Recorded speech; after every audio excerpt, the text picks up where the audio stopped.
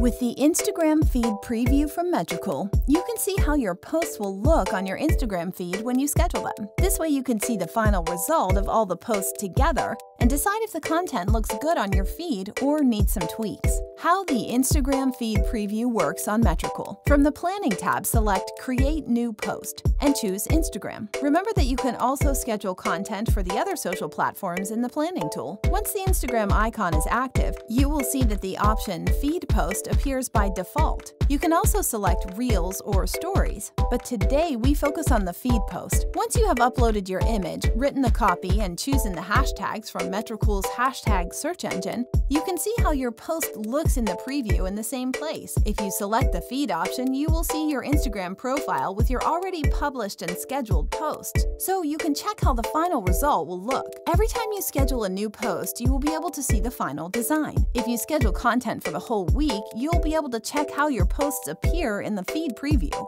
For example, if you've programmed posts for Monday, Tuesday, and Friday, if you go to Friday's post and click on Preview, you will see all the posts already published and the ones you have scheduled for the week organized chronologically. With the Instagram feed preview, you have an overview of how your scheduled posts will look. It allows you to organize your feed and check that everything is in order before posting. It's that easy. In addition, with Metricool, you can also search for the hashtags with the most views, monitor your competition, and schedule content for other social platforms.